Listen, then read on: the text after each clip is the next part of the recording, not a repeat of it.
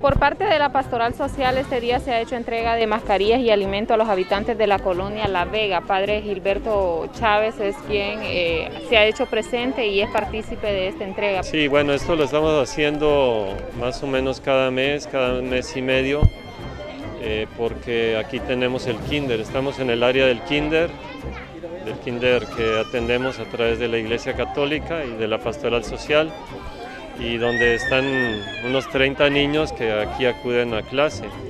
Por la pandemia, pues los niños han dejado de venir aquí, están en su hogar y la maestra les ha tratado de dar el acompañamiento de otra forma. Pero como aquí normalmente en esta área se les preparan los alimentos, acá es el comedor, y obviamente no pueden venir de lunes a viernes como lo hacían ordinariamente. Entonces, como un apoyo venimos a traerles alimentos a las familias para que a los niños no les falte. O sea, el primer compromiso es con las familias de, los niños que están aquí en el kinder. Y la otra mitad la venimos a dar a familias de la zona, de las colonias de La Masica, de la Gran Comisión, de la Sinaí, aquí de la Edia Costa y de aquí de la, de la Vega, de la Buenos Aires, que conocemos y que, están en situación de marginalidad, y también algunas familias que fueron afectadas ahorita por la tormenta.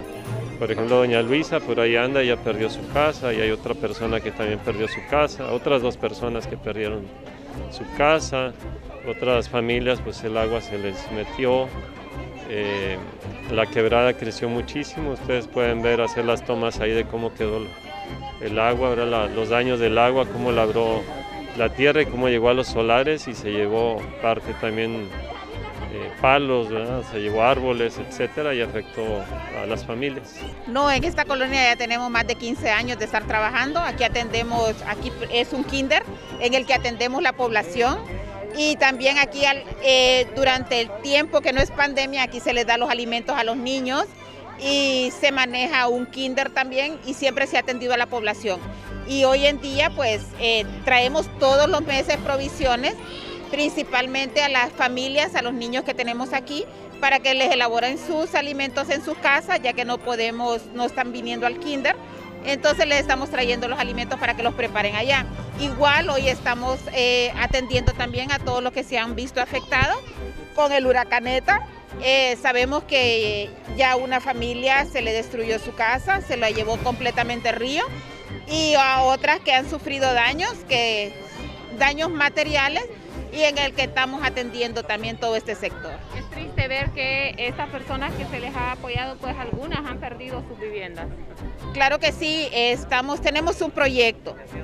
Tenemos un proyecto en el que hoy vamos a ver en qué lugar podemos ubicarle un terrenito para poderle levantar su vivienda. Una señora que perdió todo, perdió toda su vivienda, es una señora que vive con sus hijas, sus nietos, son seis niños, igual madres solteras que no tienen nada y trataremos de levantarle una vivienda con con el apoyo también de mucha gente solidaria que nos apoya con los alimentos.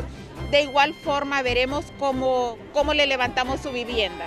Así es, ya tenemos varios años de estar apoyando a esta comunidad y no solo a esta, sino que donde sabemos que está la necesidad. Lo que pasa es que la Iglesia Católica no, casi nunca llama a los medios, pero esta vez quisimos hacerlo para que otras personas se animen a colaborar con estas personas que necesitan de nuestro apoyo. ¿Cuántas personas más o menos serán beneficiadas? 60 familias. Traemos eh, una provisión para 60 familias y también les traemos algunos panes y tenemos algo de ropa también, pero se lo vamos a traer en su momento. Gran satisfacción apoyar a estas personas. Bueno, esas son las satisfacciones de, que uno se lleve en la vida. Eh, bueno, ya tenemos tantos años de estar haciendo esto que, que para nosotros ya se ha vuelto como una necesidad.